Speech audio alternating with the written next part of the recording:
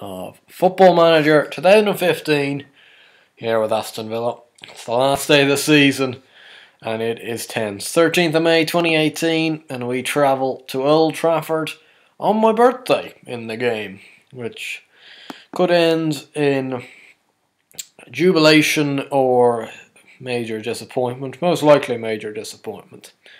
And we'll look through the fixtures. Since last time out, which was the really disappointing one-all draw against Blackburn, kind of needed to win that game, but nonetheless, we um we got a draw, I suppose.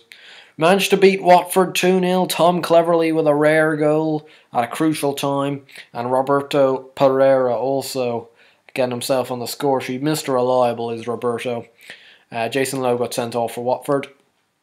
Uh, we managed to sneak past Ipswich 2 1, and I mean sneak. Um, Walcott gave us the lead in the ninth minute, but Lulic equalised with a minute uh, to go before half time. Benteke scored his second goal back from the club, or back to the club, uh, with one minute left from the penalty spot to give us three points against Ipswich, who are already relegated, I think, even before this last day. Shows you kind of we really made a balls of it in that game. But then we, we didn't make a balls of it against West Ham. We smashed them 5 0. A brace for Benteke, Grealish, Moi Gomez, and Roberto Pereyra all on the score sheet. You couldn't ask for much better. 5 0.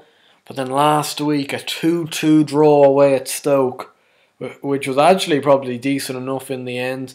We were 2 0 down through a Val- Valentin Stocker uh, brace, but Federico Bravo and Moi Gomez scored two in two minutes uh, to give us a point. Spurs have been keeping up the charge though behind us, and we go into this last game of the season still in fourth pl- place. Were we in fourth place in the last episode? I'm not quite so sure. But we are in fourth place. Nottingham Forest, they've dropped off the ball. So we have qualified for Europe. Um, we have qualified for the Europa League, but it's the difference between Europa League and Champions League. Um, we're two points ahead of Spurs, um, but Spurs have Blackburn away today, who are already relegated. So we kind of need to win because if we get a point, they will go ahead. What, were our rec- what, were, what were our results against Spurs this year? Um, where are they? We beat them once for two.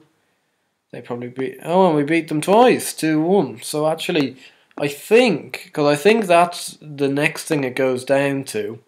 Like so, if they only win one 0 or something, and we draw.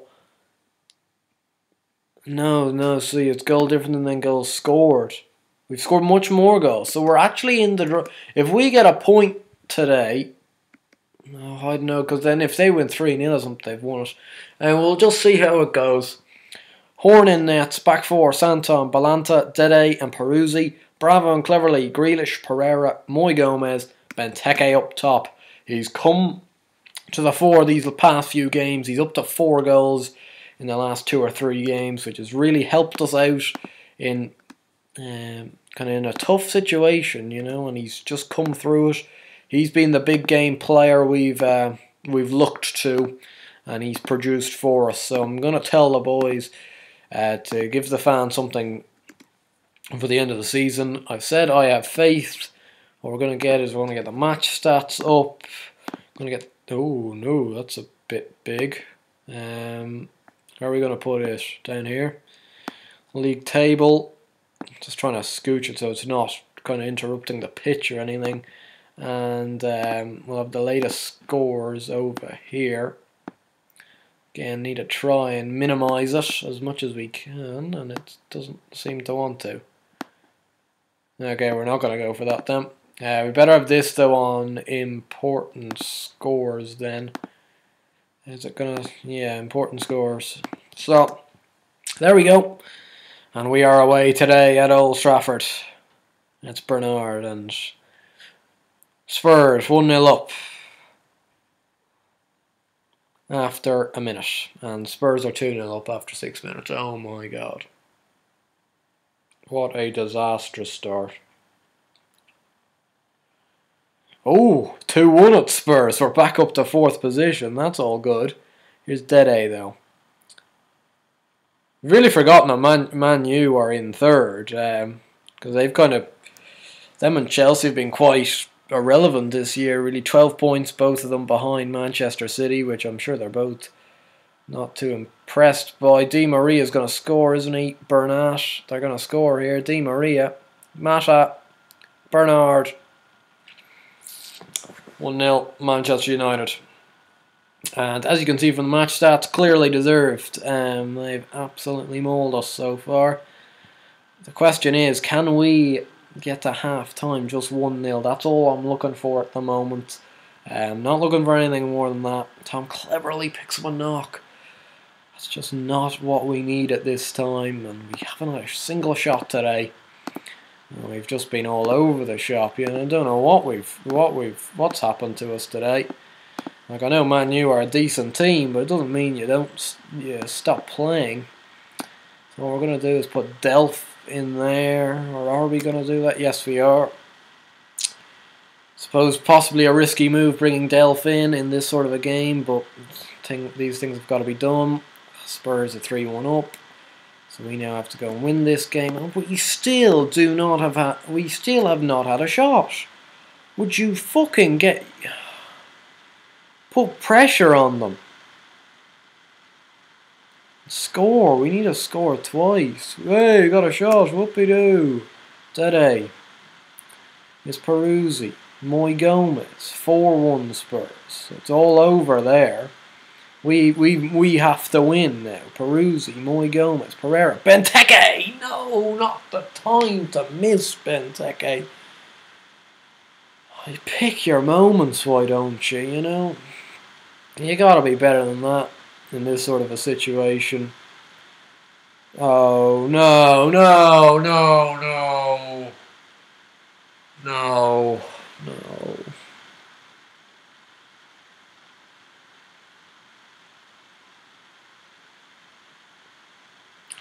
What the fuck have you done, Timo Horn? He's been so good for us this year. And he just does that. What are you doing? Oh, no, it's 3 now. 3 0. Oh!